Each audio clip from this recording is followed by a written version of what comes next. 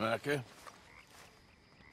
Blessed are the peacemakers, for they shall be called... Hey, Molly, where's Dutch? Well, however it goes. I'm not sure all that line of thought serves you and me very well. Uh, that's because, Cowpoke, you are a man of profoundly limited intelligence. No doubt. Well, you and the old man and Dutch have been running around, digging us ever deeper into shit. Old Mr. Pearson might have gone and lightened the load a little. Pearson! Ain't you curious? I guess. Gentlemen, Dutch, you tell him, fat man. It's peace, Dutch.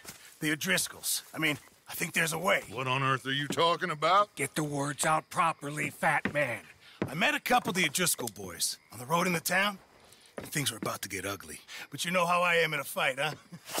like a corner tiger.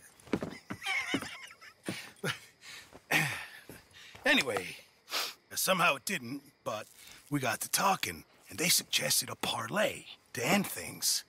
Like gentlemen. Gentlemen, Colm O'Driscoll. Have you lost your minds? You're always telling us, Dutch. Do what has to be done, but don't fight wars ain't worth fighting. They want a parley? It's a trap. Well, of course, it's probably a trap, but what do we got to lose finding out? Get shot. We ain't getting shot because you'll be protecting us. It's a trap, you shoot the lot of them. If it ain't a trap, that's slim chance. I don't see the point in any of this. It's a chance. you Gotta take. I killed Colm's brother. Long time ago. Hmm. Then he killed a woman I loved dear. Hmm.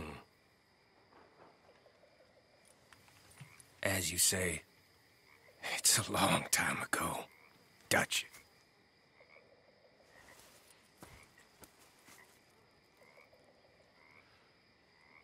Let's go. You and me, with Arthur protecting us, no one else. What about me? This ain't the time for tigers, my friend.